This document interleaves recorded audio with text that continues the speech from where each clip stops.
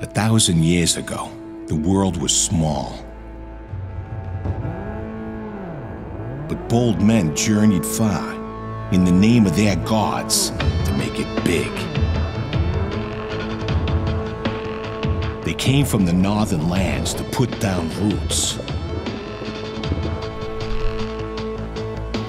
Roots were their religion, along with dwarves, fire giants, and wolves. They abandoned the land, but the roots grew into this here cradle of liberty. By the time he came around, the one they call Magnus, it resembled the modern world. Except beneath it all, in every which way, it wasn't that modern, and it wasn't a world singular. There were nine of them. And let's just say that these worlds, they didn't get along too well.